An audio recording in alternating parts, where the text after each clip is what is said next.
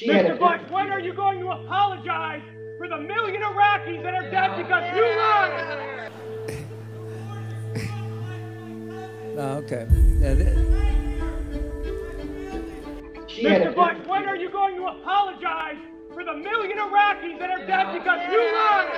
You lied about weapons of mass destruction. You lied about connections to 9/11. You lied about Iraq being a threat. You sent me to Iraq. You sent me to Iraq in 2003. Friends are dead. Joshua Castile. You you killed people.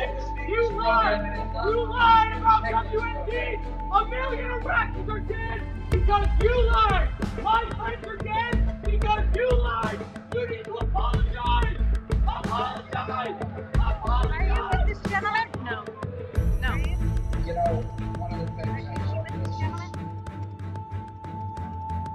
I'm wondering if they're going to arrest me, but I just disrupted George Bush speaking. Um,